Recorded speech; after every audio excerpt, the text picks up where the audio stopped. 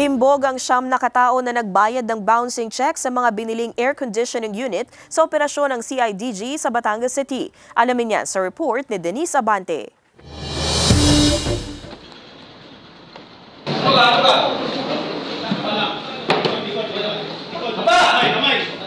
Sinalakay ng mga operatiba ng CIDG Batangas ang opisinang ito sa Barangay Bolbok, Batangas City kung saan nagaganap ang umano'y online scam ng isang grupo sa mga online sellers. Kasunod ito ng reklamo ng mag-asawang mula sa GMA Cavite na hindi na pinangalanan. Una raw nag-order ang grupo nitong September 22 ng air conditioning units na nagkakahalaga ng mahigit isang milyong piso at ipinadeliver sa Pangin, Laguna. Nasundan pa raw ito ng karagdagang 30 units noong September 25. Mga post-dated check umano ang ibinayad sa kanila ng mga suspect pero napag-alamang talbog o walang laman ang cheque nang mag-encash na ang mag-asawa. Nagpakita sila ng mga dokumento na may mga project sila with together with local government dun sa Laguna.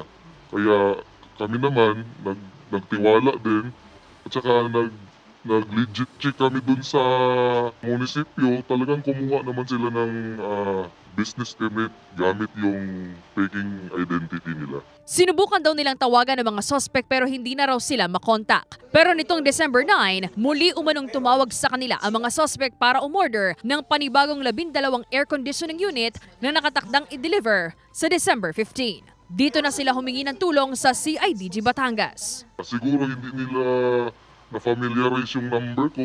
Familiar ko yung boses niya.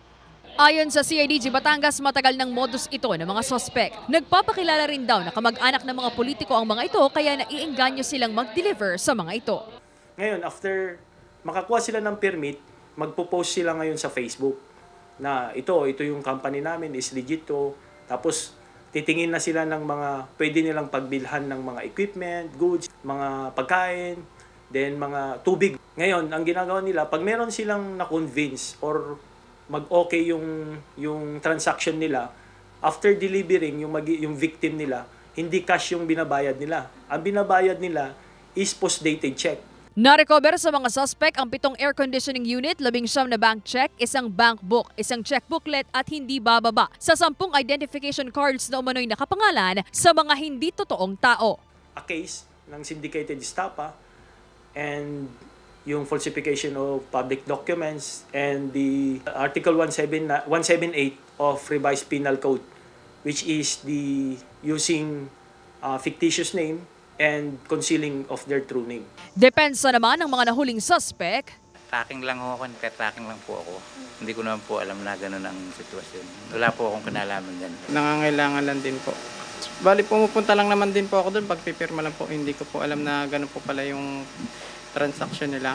Na with due diligence, kailangan i-verify natin kung meron nga ba silang permit. Mas maganda na lang cash. Cash dapat yung transaction, wag nang gumamit ng cheque. Lalo na yung gamit ng modus operandi nila ngayon, kasama si J.R. Manhares, Denise Abante, Balitang Southern, Tagalog.